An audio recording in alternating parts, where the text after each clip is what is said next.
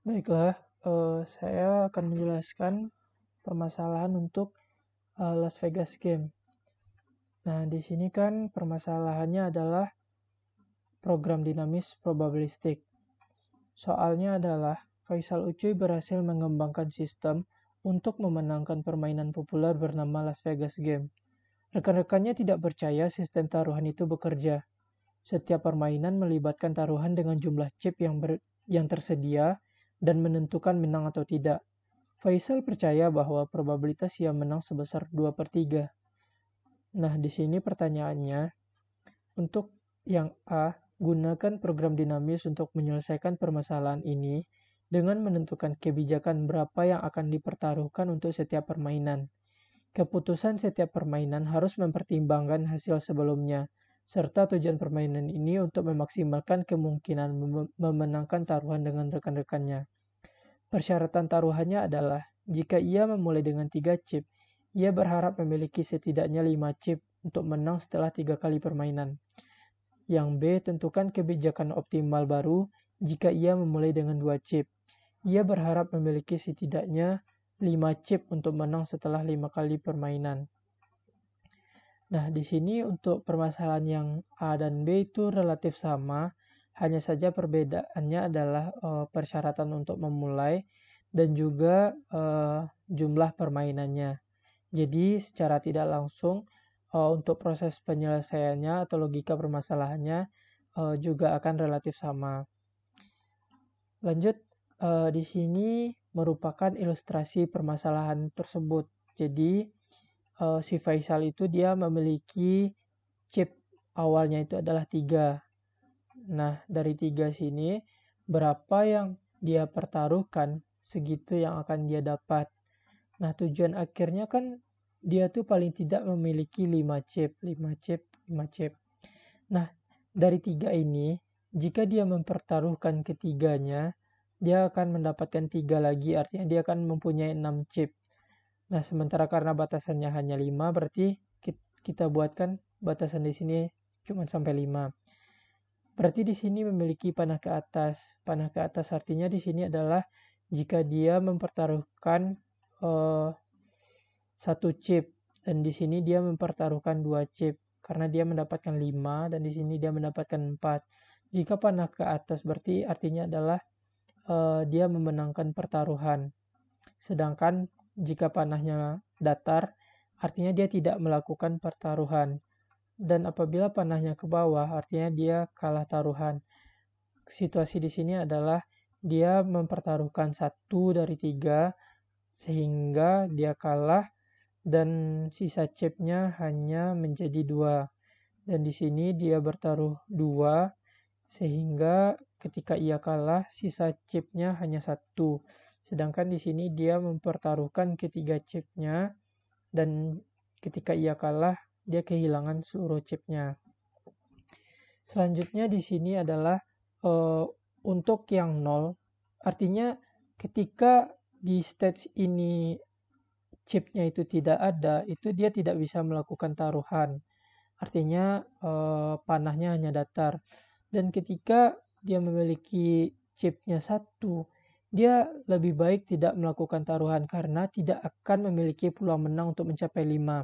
Misalkan dia tetap memaksakan ikut taruhan satu. Pada sini dia hanya akan memiliki dua. Sedangkan apabila dia taruhkan keduanya, maksimal dia hanya akan mendapatkan empat. Artinya dia tidak punya peluang untuk mendapatkan lima. Dan dia akan kalah. Nah selanjutnya jika dia mempunyai dua chip, dia bisa melakukan, dia harus melakukan taruhan.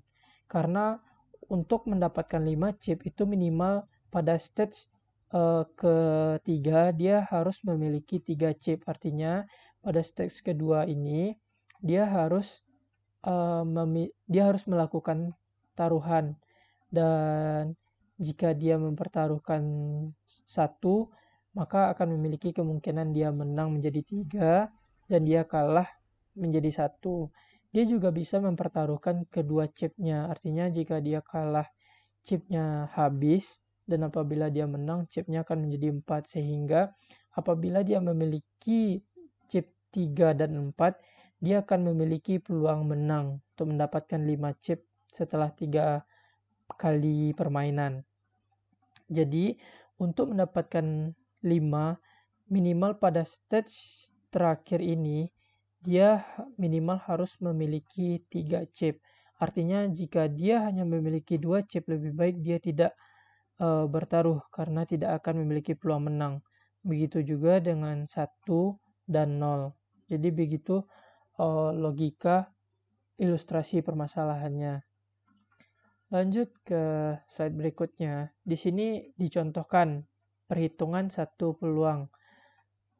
di sini uh, merupakan uh, perhitungan peluangnya perhitungan peluang sederhana. Jadi misalkanlah dia di sini dia punya dua chip. Nah peluang dia menang itu apabila dia bertaruh, dia harus bertaruh satu atau dua chip di sini. Ketika satu dia peluangnya bisa mendapatkan tiga chip atau ketika dia bertaruh dua chip dia bisa mendapatkan uh, chip di di stage ini. Nah, jadi peluang untuk menang mendapatkan di sini atau ke sini itu adalah 2 per 3. Sedangkan peluang dari sini menuju 5 atau dari 4 menuju 5 itu adalah 2 per 3 juga. Artinya peluang dia kalah di sini tidak akan diperhitungkan karena uh, kita mencari peluang objektifnya atau peluang dia uh, akan menang.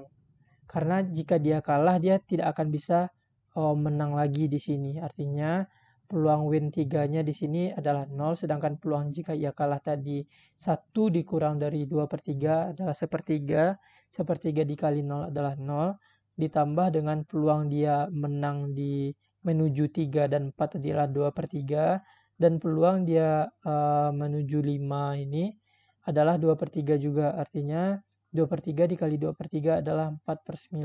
Nah, begitu contoh perhitungan peluangnya. Lanjut, kita masuk ke pembahasan. Pada stage-nya, di sini adalah permainan, yaitu n sama dengan 1, 2, dan 3. Decision variabelnya adalah jumlah chip yang akan dipertaruhkan untuk stage n. Dan state-nya adalah jumlah chip di tangan dimulai pada tahap n. Nah, di sini kita gunakan pendekatan backward atau pendekatan mundur.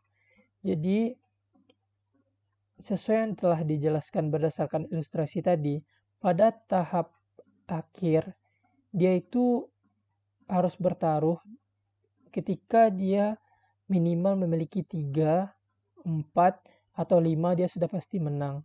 Sedangkan jika 0, 1, 2 lebih baik dia tidak bertaruh karena tidak akan memiliki peluang menang. Nah, jadi di sini untuk 0, 1, dan 2 itu lebih baik dia no bet atau tidak bertaruh karena peluang menangnya sudah tidak ada. Nah, apabila chipnya itu ada tiga, berarti situasinya adalah di sini. Dia harus mempertaruhkan dua atau ketiga chipnya untuk mendapatkan minimal 5 atau sama dengan 5. Jadi dia tidak bisa untuk bertaruh satu karena dia akan maksimal hanya akan mendapatkan 4. Nah, peluang dia mendapatkan 5 di sini jika dia uh, mem mempertaruhkan chipnya sebesar 2, peluang untuk mendapatkan 5 adalah 2 per 3. Dan jika dia mempertaruhkan chipnya sebesar 3, peluang untuk mendapatkan 5 atau besar dari 5 juga 2 per 3. Oleh karena itu, di sini uh, jika dia number of bet-nya jika dia mempertaruhkan 2, peluangnya adalah 2 per 3. Dan jika dia mempertaruhkan 3, peluangnya juga 2 per 3. Nah, lanjut ke uh, bet yang uh, jika dia memiliki 4 chip. Ketika dia memiliki 4 chip sama halnya dengan tiga tadi.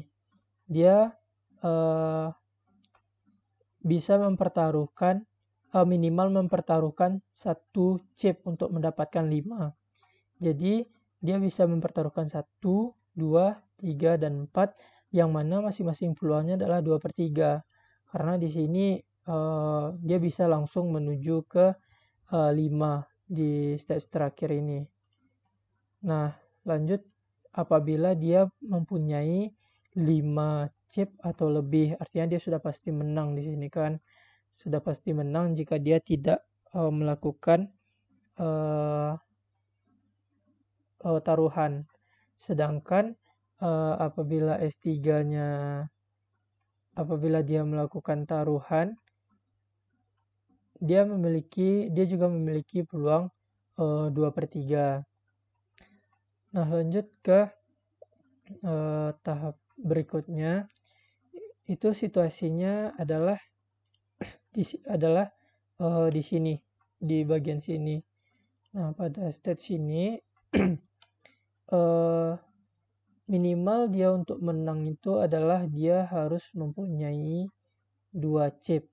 Artinya jika dia hanya memiliki satu chip, dia tidak memiliki peluang untuk menang karena satu jika dia pertaruhkan satu hanya menjadi dua dan dua itu tidak bisa menang. Artinya oh, untuk nol dan satu itu lebih baik no bet, artinya tidak bertaruh karena tidak punya peluang menang. Nah, untuk uh, jumlah chip 2 itu peluang 4 per 9 4 per 9 nya itu datangnya dari sini. Misalkan dia mempunyai dua dipertaruhkannya adalah satu misalkan. Jadi peluang satu itu dia ketika dia menang itu kan peluangnya tadi 2 per 3 berarti dia baru memiliki 3, 3 chip di stage ini. Lalu dia bertaruh lagi dan peluang menangnya adalah 2 per 3. Artinya 2 per 3 dikali dengan 2 per 3 sama dengan 4 per 9. Begitu juga dengan jika dia mempertaruhkan uh, keduanya.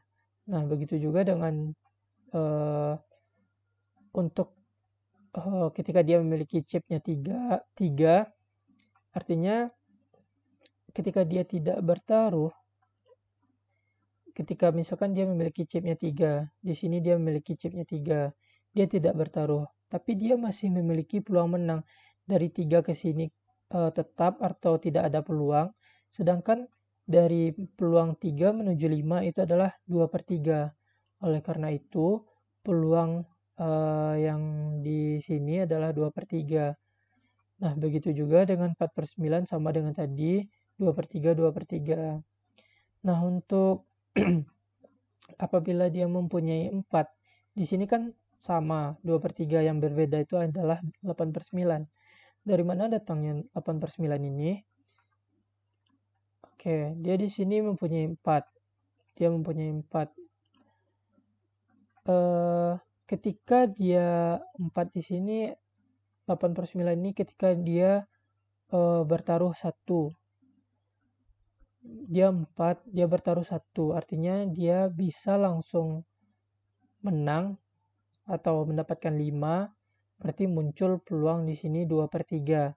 Sedangkan apabila dia uh, tiga di sini oleh karena itu uh, akan muncul peluang kalah sepertiga dan dikali dengan peluang menang. Karena di sini kan tidak tidak dipertimbangkan karena dia ketika kalah dia tidak mungkin menang lagi. Tapi ketika dia kalah dia masih punya peluang menang. Karena ketika dia kalah satu sisa chipnya masih tiga dan dia masih memiliki peluang menang. Artinya adalah uh, nilai uh, ketika dia kalah satu per tiga dikali dengan uh, dua per tiga. Didapatkan hasilnya adalah uh, 2 per 9 2 per 9 ditambah dengan peluang menangnya langsung tadi adalah 2 per 3. Jadi 2 per 9 ditambah 2 per 3 itu adalah eh, 8 per 9. Nah di sinilah muncul angka 8 per 9. Nah untuk yang besar sama 5 itu uh, eh, 1 karena dia sudah pasti menang.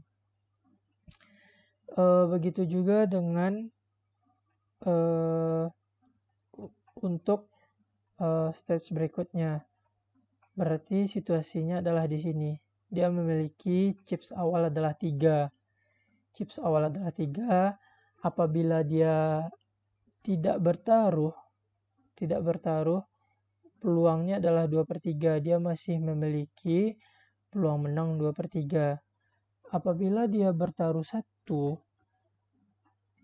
berarti di stage berikutnya dia akan memiliki uh, peluangnya itu adalah dua, memiliki chips adalah dua atau empat.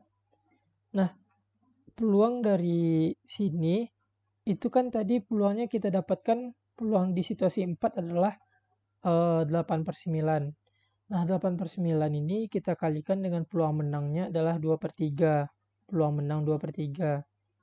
Ditambah dengan peluang jika dia kalah menuju 2 dan peluang 2 tadi adalah 4 per 9 artinya dari 3 ke 2 itu sepertiga dikali dengan 4 per 9 dan dari 3 ke 4 itu 2 per 3 dikali dengan 8 per 9 sehingga dijumlahkan hasilnya adalah 20 per 27 nah begitu juga dengan kalau yang untuk jika dia bertaruh 2 uh, eh, itu peluangnya adalah 2 per 3 sama dengan tadi. Dan begitu juga dia dengan bertaruh 3 karena dia bisa langsung menang. Kalau misalkan misalkan tadi 3 kan dia bertaruh 2 artinya 3 tambah 2 nanti 5 artinya peluang dari 3 menuju 5 itu adalah 2 per 3 begitu juga dia bertaruh dengan 3 atau dipertaruhkan seluruh chipsnya. Dia juga akan memiliki peluang uh, eh, 2 per 3 karena bisa langsung menuju 5 nah dari situ uh, kita dapatkan angka 2 per 3 ini dan ini. Nah untuk uh, solusinya di sini kan kita bisa lihat uh, yang maksimum itu uh, 2 per 7 di sini 1, 8 per 9, 2 per 3, 4 per 9 nah langsung ke solusinya. Dari X1 X1 tadi kan yang terpilih itu adalah 20 per 7 artinya dia lebih baik menaruhkan atau mempertaruhkan chipsnya itu sebesar satu chips. Nah, jika X1 X1 bintang itu sama dengan satu, jika dia menang, maka X2-nya itu dipertaruhkan satu lagi. Nah, jika dia menang lagi, X3-nya itu dia tidak perlu bertaruh. Sedangkan apabila dia kalah di stage X3 bintangnya itu dia harus bertaruh dua atau tiga chips. Nah, sedangkan pada uh, ketika dia kalah di taruhan yang pertama tadi, di X2-nya dia harus bertaruh satu atau dua, satu atau dua. Nah, apabila dia ber, uh, menang, maka di X3-nya uh, eh, dia harus bertaruh dua atau tiga untuk X2 yang sama dengan satu dan 1, 2, 3, atau 4 jika pada X2-nya tadi dia memilih uh, untuk bertaruh 2. Eh, dan jika dia kalah, maka uh, dia akan kalah taruhan. Nah, jadi peluangnya itu peluang dia untuk bisa mengalahkan temannya tadi adalah 20 per 27. Begitu uh, permasalahan ini uh, dapat diselesaikan. Nah, untuk permasalahan yang B itu kasusnya sama dengan yang A. Artinya, jika rekan-rekan paham untuk pembahasan yang A, maka otomatis rekan-rekan pasti paham untuk permasalahan yang B. Oleh karena itu, untuk yang B uh, rasanya tidak perlu untuk dijelaskan lagi. Yang perlu di, yang perlu rekan-rekan pahami adalah bagaimana uh, ilustrasinya ini. Ketika dia kalah, peluangnya muncul sepertiga, tetapi di sini. Ketika dia kalah muncul peluang sepertiga, tetapi peluang satu di sini dia tidak akan bisa menang lagi, artinya dia dikali dengan nol. Sedangkan apabila dia menang sekali, maka dia memiliki peluang 2 per 3 di sini. Nah, apabila, apabila dia menang lagi maka muncul lagi peluang 2 per 3 maka 2 per 3 dikali 2 per 3 itu sama dengan 4 per 9 nah hal-hal uh, perkalian peluangnya inilah yang perlu dipahami. Uh, baiklah sekian untuk permasalahan Las Vegas Games. Uh, terima kasih